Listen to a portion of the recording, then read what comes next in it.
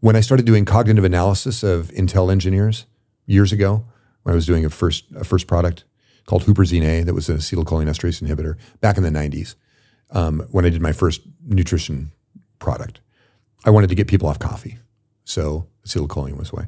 And what I found was that when we measured them after we got them off coffee and got them on acetylcholinesterase inhibitors and saw their performance, number of activities that they were able to manage per day, right? Which means task switching and it means cognitive, being able to dive deep into a subject and really penetrate through the wall and solve a problem, is they were running at 45 to 65% of their performance. And once you got them, and the interesting thing is it's not a linear curve.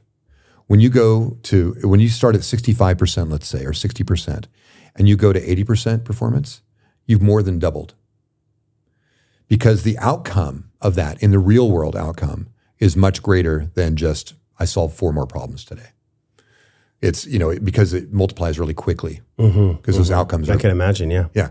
So, and once you get people up to that 85 to 90%, they're dangerous.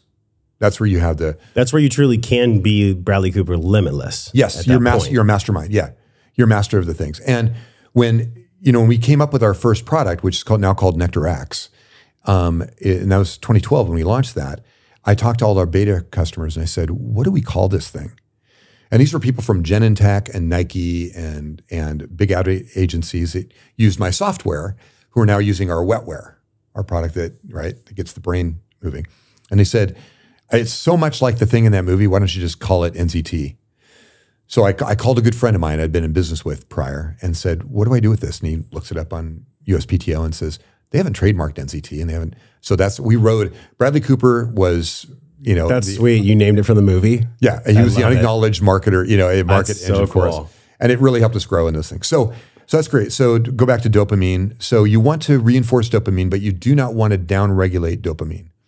Downregulation happens when you if you deplete it, you get too many likes, too many things. You suddenly are look, are you're so you're a rat in a cage.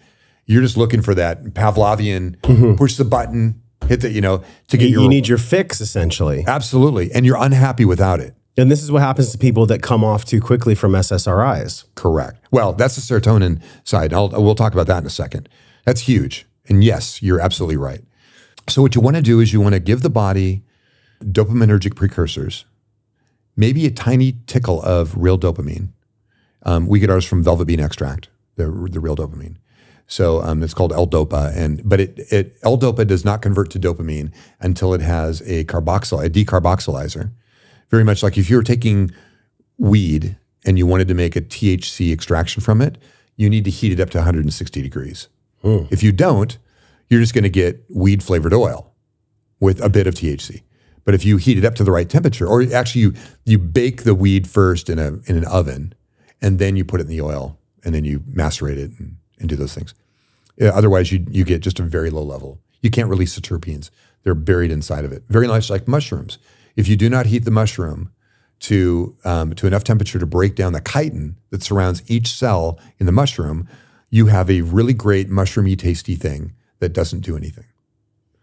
You break it down and you do the extraction, and it's all of the really critical components. So the magic is in the heating process to the Yeah, specific temperature. It's a release. Yep. Yep. Yeah. You don't get release without it. So That sounds like a whole nother podcast. it's great. How to make mushrooms and weed the right the most conscious way with the right amount of Oh my God. heat. It's true. It's true. Um, so yeah, so that so you you want to have the precursors to dopamine, and you want to have the process, and then you want to do you want to stage it so that um, so that you don't get this big spike of dopamine and then it falls off a cliff. You want to get a flow of dopamine by having the right precursors at the right time. Acetyl-L-tyrosine is one. Phenylalanine is one. L-phenylalanine. So, and if you look at the way that if you look at the way that dopamine is created in the body, is it starts with phenylalanine, then it converts to L-tyrosine, which converts to dopamine. So what we did is we built a capsule with the signaling molecules to, to tell it to convert. So here's the raw product, convert. Here's the raw product. After that's done, convert. Here's the here's the closest thing to the molecule that you want, L-dopa, and let's convert that at a graduated.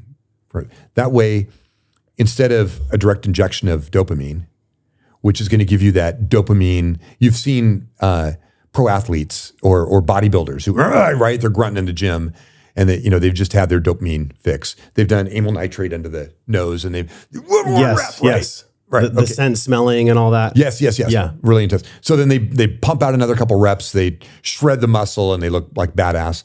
But the downside of that is once that's over, they got no motivation and they're assholes because they don't feel good. So you don't want to do that. What you want to do is you want to say, hey, hey, I've got all the stuff you need to make all the dopamine you want. Do you want to use some? I've got it available to you. And you want to get your body into that kind of a, of a, of a process. Once that happens, then it's available on demand. You know you're not going to run out, so you don't have that fear of running out. If you've ever been in a physiological situation where you're you're dopamine deprived or you're just unhealthy and you're going, I can only afford one event, negative or positive today, and then I'm I'm used up. And once you have something like that, where ours is called Dopa Drops, is it gives you that radical additional bandwidth to be able to handle both stress and joy.